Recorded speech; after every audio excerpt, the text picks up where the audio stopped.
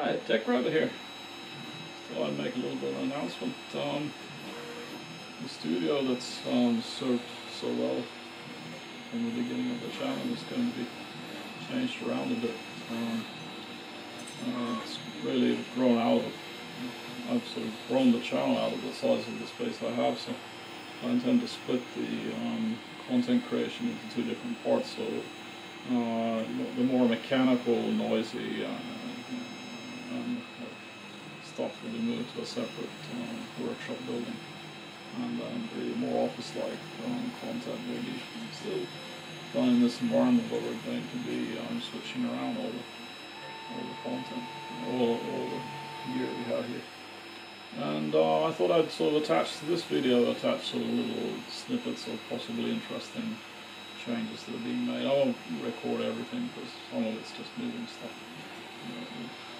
Also I'd like to um, uh, read out some channel stats that we've been able to um, get together, um, viewers and me. So we have um, over 80 subscribers now. So thanks, thumbs up to all those that have subscribed to the channel. That's, that's really nice. Uh, we're coming closing on 50,000 views for the videos on the channel. So that's, that's um, again an amazing amount. I can't even think. I can't really visualize that kind of a figure. Um, I myself got a little bit amazed when I looked at the total number of videos that one has out, and they're like uh, 500 so, of 500 videos. Uh, I had to double check, but it is actually true that on the channel there's 500 published videos.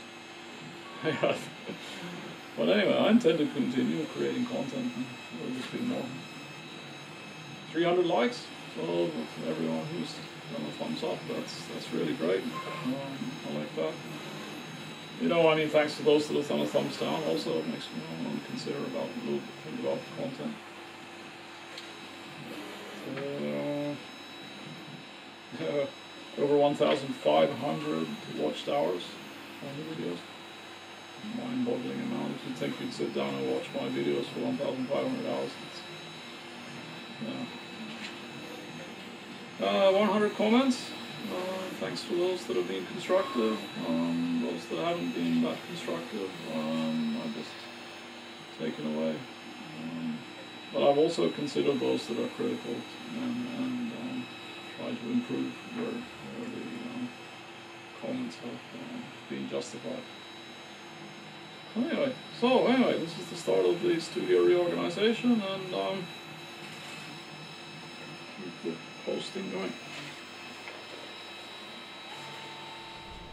Yeah, swap to a little bit better camera right now. Use this for the next shots. Okay, next phase, disassemble the table. Got most of the stuff out of the way. Okay, that's the table in. One of them. I've got two. Yeah, 33 kilograms. Eh, not that light. So anyway, just gonna get it unpackaged and see what it looks like. Yeah, that's modern transporting for you. But nothing seems to be broken right now, at least. Uh, to dig more into the package, but uh, it's just depressing. Okay, got it all unpacked. A little bit of dents. We'll see if it makes any impact on, on the build. Okay, that's the center part done. Had a few nicks in it, but they're going to be hidden under the tabletop, so I don't think I'll make it the side hinge is a bit it's one of the screws is missing I have to check if that you're supposed to screw them after the fact or that it went missing on uh, in transport oh that'll be I think I mean the actual hinge doesn't seem to be broken so I think I can actually fix that so that's the end shelf put together I'll try and put all the tabletops now Ah, first tabletop in place. like usually one of these quick manufacturers, it's all dusty. I have to de-dust it before one can use it. So that's the side table part of the table in place now with the shelves. I'll just have to put some more few fasteners in and it'll be done. Okay, this is the second table being assembled. Um, nearly done. I just need to put the second tabletop in place and start organizing the place. Okay, here's the middle face. Well, the tables are put together and they're in their hopefully the right positions. Everything's a bit temporary right now, but um, next I need to empty the sh uh, brown shelf and move the computer again because I decided not to have it um, on the computer table on the corner there on the white black one. I'm going to move it to the main table yeah, so this will be the, this is the beginnings of a three recording stations setup, so. Um, right, oh, start working on the shelf.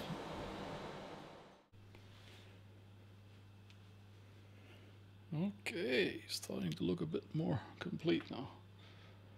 So black shell is moved, brown shelf is shifted, I decided to stick it in the corner.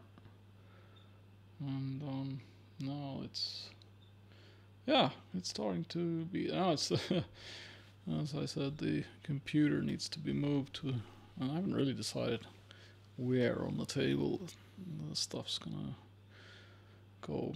So I have to think about that, which will be overnight in our case. Yeah. Now the 3D printer will end up on the side table. Mm-hmm. Ah, feeling really tired. This is taking a lot of energy. Anyway, then there will be like basically three different modes of operation for um, YouTube creation, so I'm nearly there. So I'll just finalize this and then maybe we can actually get into reviewing the positions or the molds. So now it's starting to be a little bit more complete. we still need to move the brown shelf out. I'm going to replace it with one of those black shelves. It hasn't come yet. Now I've put the computer uh, in a new location, moved it over. And um, I'm hoping that that will be its final final place. But I'd have to probably run some video production to actually see if this is going to work. But anyway, this is pretty, as I said, pretty much complete. Uh, where the 3D printer is, that also needs to be organized a bit more. So I'd like to actually have, be able to have access to use the Prusa on, on an ongoing basis, so I wouldn't have to do any setup to use that. And the black shelf will help to do that, because I'll have the filaments on the black shelf. Yeah. And, um, well, we'll see. Take the next step.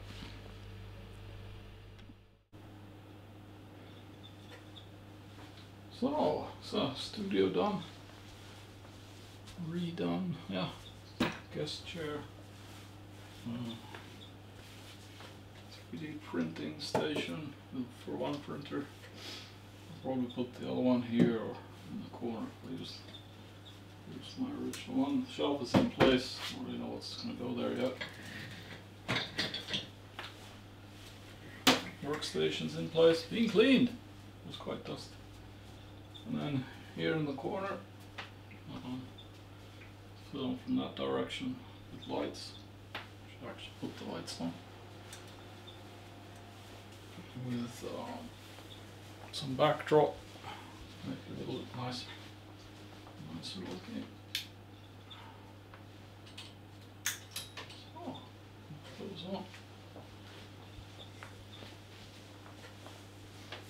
So I can do uh, live streaming from this position or uh, you know anything that needs the to share the desktop plus uh, webcam and then I can show things from here. I still got the if I want to set up the overhead cam. And then in, the corner here it's for more like stand-up things, for there's bigger things to show. I can uh, swivel this monitor around out of the way. and then work from here. And I've got some stuff in the corner there to support bookshelves. And actually it takes, it utilizes the floor space more efficiently than the original layout.